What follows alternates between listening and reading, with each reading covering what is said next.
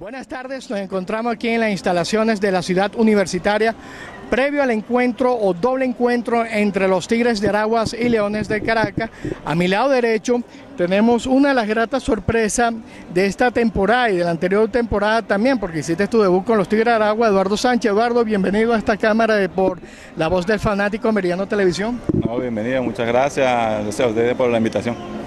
Eduardo, este año la noticia más agradable es que está roster de 40 en una organización como solo San Luis Cardinals.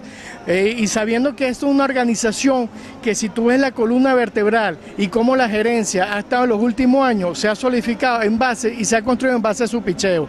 Eso quiere decir que te han depositado una confianza. ¿Qué dice Eduardo Sánchez sobre todo esta confianza que te dio la organización de, San Luis Cardinals?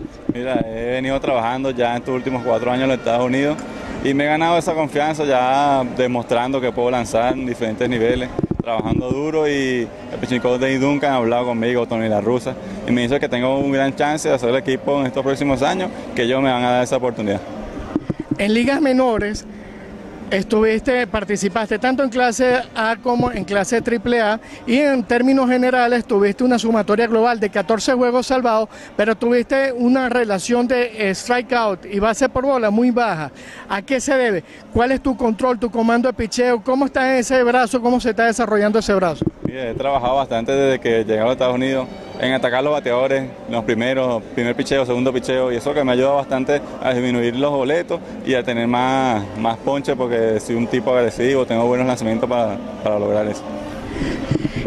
En la organización de San Luis, indudablemente uno ve que la figura resaltante es Albert Pujol. Se puede decir que el equivalente de Albert Pujol aquí en Venezuela es el aragüeño Miguel Cabrera, por decirlo en clase más o menos similar. ¿Has tenido contacto con esos grandes jugadores de San Luis, Carpenter, el mismo Pujol? indudablemente el manager de la rusa. Sí, mira, son imágenes bastante, personas bastante gratas, grandes por su presencia, una imagen. Es una familia, está ahí en los Cardenales. Tuve la oportunidad de compartir el último sprint training y todos son unidos, una familia, tanto americanos como latinos, Yadier Molina, Albert Pujol. Todos son una familia, apoyan a los, peloteros novatos y le dan esa confianza de, de jugar duro y hacer el trabajo. El año pasado prácticamente hiciste tu debut aquí en Venezuela con los Tigres de Aragua.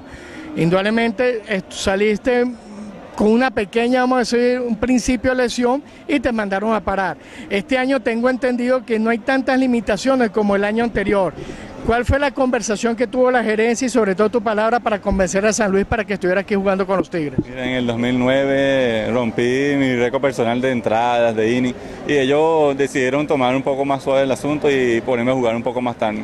Este año, gracias a Dios, me fue bastante bien y no tuve tantas apariciones y eso es lo que me ayudó a que ellos me dieran el permiso un poco más antes.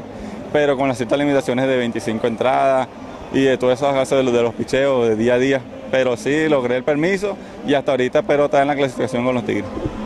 ¿Cuál es el arma principal de ese brazo que tienes tú para dominar a los bateadores? Porque yo veo que tú lanzas recta a muy alta velocidad y de repente rompes con una slider. ¿Cuál es, el, ¿Cuál es tu arma principal para dominar a esos bateadores? Mira, lo principal es tirar el primer picheo por strike, hacer a la curva, el slide.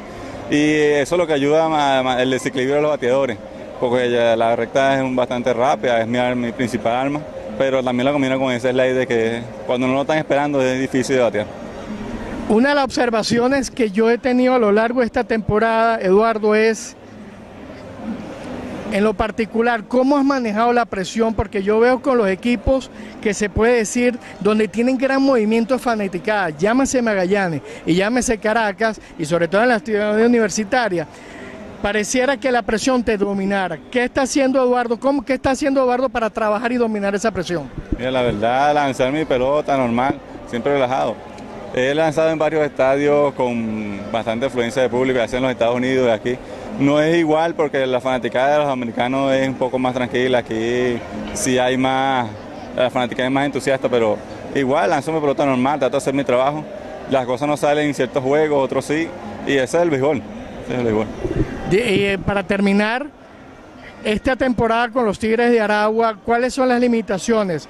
Tengo entendido que tienen ciertas limitaciones a lo largo de la temporada, que puede estar logrando 25 innings, me imagino que incluye pues, en una segunda etapa si Aragua avanza a una etapa y también estaría incluido en una final si Aragua llega a ese, a ese, a alcance. Mira, todavía no se han contactado con la gerencia de los Cardenales en respecto a qué tan largo puedo ir, pero esperemos que sí, todavía no he cumplido la meta de los 25 innings, que es lo, lo pautado, y espero llegar, si Aragua llegase a una final, compartir con ellos y estar presente. ¿Qué le dice Eduardo Sánchez a esa fanática que nos sigue a través de la página www.tigrerosoficiales.com.b y la voz del fanático por Meridiano Televisión? No, que sigan apoyando a los Tigres de Aragua, en del béisbol de Venezuela y que no, que vengan a disfrutar del parque y pongan un buen, un buen espectáculo. Gracias, Eduardo.